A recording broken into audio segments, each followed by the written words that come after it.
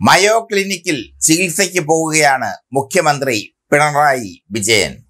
മയോ ക്ലിനിക്കിൽ ചികിത്സയ്ക്ക് പോകുമ്പോൾ ഒരുപാട് മാറ്റങ്ങൾ മന്ത്രിസഭയിൽ അദ്ദേഹം ആഗ്രഹിക്കുന്നു. അദ്ദേഹത്തിന്റെ മനസ്സറിഞ്ഞുകൊണ്ടുള്ള മാറ്റങ്ങൾ. ഇപ്പോൾ പിണറായി വിജയൻ സി പി എമ്മിന്റെ അവസാന വാക്കാണ്. കേരളത്തിൽ മാത്രമല്ല ഇന്ത്യയിലും. കനലെരിയുന്ന സമരപഥങ്ങൾ താണ്ടി വന്ന നേതാവ് ആ നേതാവിനെ ഇപ്പോൾ ജനങ്ങൾ വിളിക്കുന്നു ഇരട്ട ചങ്കനെന്ന്. മയോ ക്ലിനിക്കിൽ ചികിത്സയ്ക്കായി പോകുമ്പോൾ അദ്ദേഹം വരുത്തുന്ന പ്രധാന മാറ്റം ഇതാണ്. പാർട്ടി സെക്രട്ടറിയായ കോടിയേരി ബാലകൃഷ്ണനെ ഉപമുഖ്യമന്ത്രിയാക്കി പ്രതിഷ്ഠിക്കുക. ആഭ്യന്തര വകുപ്പ് കോടിയേരിക്ക് നൽകുക. മുമ്പ് കോടിയേരി ആഭ്യന്തര വകുപ്പ് നന്നായി ഭരിച്ചിരുന്നു. ആഭ്യന്തര വകുപ്പിൽ കോടിയേരി ശക്തമായ ഇടപെടലുകൾ നടത്തിയിരുന്നു. എന്നാൽ പിന്നീട് പിണറായിയുടെ കയ്യിൽ ആഭ്യന്തരം വന്നപ്പോൾ എല്ലാം താറുമാറായി.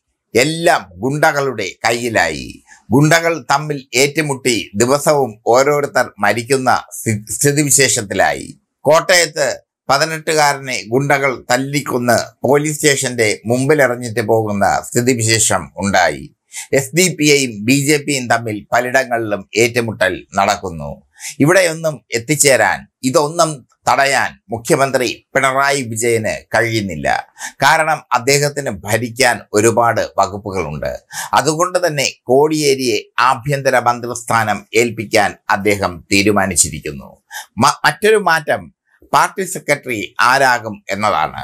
മുമ്പ് കോടിയേരി അവധിയെടുത്തപ്പോൾ ബിനീഷ് കോടിയേരിയുടെ പ്രശ്നത്തെ തുടർന്ന് ബിനീഷ് കോടിയേരി അറസ്റ്റിലായതിനെ തുടർന്ന് അദ്ദേഹം ജയിലിലായതിനെ തുടർന്ന് കോടിയേരി അവധിയെടുത്തപ്പോൾ വിജയരാഘവനായിരുന്നു ആക്ടിംഗ് സെക്രട്ടറി പക്ഷേ ഇത്തവണ പാർട്ടി സെക്രട്ടറിയായി ആക്ടിംഗ് സെക്രട്ടറി പോരാ. കരുത്തുള്ള ഒരു വ്യക്തിത്വം തന്നെ സൗമനസ്യമുള്ള ഒരു വ്യക്തിത്വം തന്നെ സൗമ്യനായ ഒരു വ്യക്തിത്വം തന്നെ പാർട്ടി സെക്രട്ടറിയായി വേണം. അതുകൊണ്ട് എളമരം കരീമിനെ പാർട്ടി സെക്രട്ടറിയാക്കാൻ തീരുമാനിച്ചിരിക്കുന്നു പിണറായി. എറണാകുളത്ത് നടക്കുന്ന സംസ്ഥാന സമ്മേളനത്തിൽ ശക്തമായ തീരുമാനങ്ങളായിരിക്കും സി പി എമ്മിൽ കൈകൊള്ളുക. ആ ശക്തമായ തീരുമാനങ്ങൾ പാർട്ടിക്ക് പുതു തലമുറ കൈമാറ്റം നൽകും. എളമരം കരീം പുതിയ പുതിയ തലമുറയല്ല. കോടിയേരി ബാലകൃഷ്ണൻ പുതിയ തലമുറയല്ല.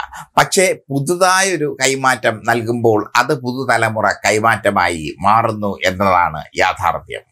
മുഖ്യമന്ത്രി ചികിത്സയ്ക്ക് പോയി തിരികെ വരുന്നതുവരെ മുഖ്യമന്ത്രിയുടെ ചുമതല വഹിക്കുന്നത് മരുമകൻ മുഹമ്മദ് റിയാസ് ആയിരിക്കും. മുഹമ്മദ് റിയാസിനെ കൂടുതൽ ഉയരത്തിൽ പ്രതിഷ്ഠിക്കാൻ മുഖ്യമന്ത്രിക്ക് ആഗ്രഹമുണ്ട്. പക്ഷേ റിയാസിനെ കൂടുതൽ ഉയരത്തിലേക്ക് പ്രതിഷ്ഠിക്കുമ്പോൾ മറ്റു നേതാക്കൾക്ക് ശക്തമായ എതിർപ്പുണ്ടാകും. പ്രത്യേകിച്ചും എം എ ബേബി തോമസ് ഐസക് ടീമിന്. M A Baby Thomas Isaac team ഇപ്പോൾ കേരളത്തിലെ പാർട്ടിയുടെ പോക്കിൽ അസംതൃപ്തരാണ്. പിണ- പിണറായിയുടെ പോക്കിൽ അസംതൃപ്തരാണ്. കാരണം പിണറായി വിജയൻ ഒന്ന് തീരുമാനിച്ചാൽ അത് തീരുമാനിച്ചതാണ്. ആ തീരുമാനം അദ്ദേഹം നടപ്പിലാക്കിയിരിക്കും. അദ്ദേഹത്തെ തേടി കൂടുതൽ ചുമതലകൾ വന്നുകൊണ്ടിരിക്കുകയാണ്.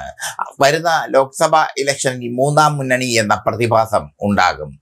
പലപ്പോഴും മൂന്നാം മുന്നണി എന്ന പ്രതിഭാസം ഉണ്ടായിട്ടുണ്ട്. ആ പ്രതിഭാസം നശിച്ച് നാരായണക്കല്ല് നാരായണക്കല്ല് എടുത്തിട്ടുമുണ്ട്. പക്ഷേ ഇത്തവണ മൂന്നാം മുന്നണിക്ക് നേതൃത്വം നൽകേണ്ടത് പിണറായി ആയിരിക്കണമെന്ന് പലർക്കും ആഗ്രഹമുണ്ട്. സി പി എമ്മിന്റെ ബദ്ധ ശത്രുവായ മമതയ്ക്ക് പോലും. പക്ഷേ പിണറായി അതിനൊന്നും കൈകൊടുത്തിട്ടില്ല എങ്കിലും മൂന്നാം മുന്നണി എന്ന ആശയത്തെ അദ്ദേഹം അംഗീകരിക്കുന്നു. പ്രാദേശിക പാർട്ടികൾ വളർന്നു വരണമെന്ന് അദ്ദേഹം പറയുമ്പോൾ അത് മൂന്നാം മുന്നണി എന്ന ആശയം തന്നെയാണ്. മയോ ക്ലിനിക്കിലേക്ക് മുഖ്യമന്ത്രി ഇരട്ടച്ചങ്ങനായ മുഖ്യമന്ത്രി പുറപ്പെടുമ്പോൾ ഒരുപാട് മാറ്റങ്ങൾ കേരളത്തിൽ സംഭവിക്കും. കോടിയേരി ആഭ്യന്തര വകുപ്പ് മന്ത്രിയാകും. എളമരം കരീം പാർട്ടി സെക്രട്ടറിയുമാകും.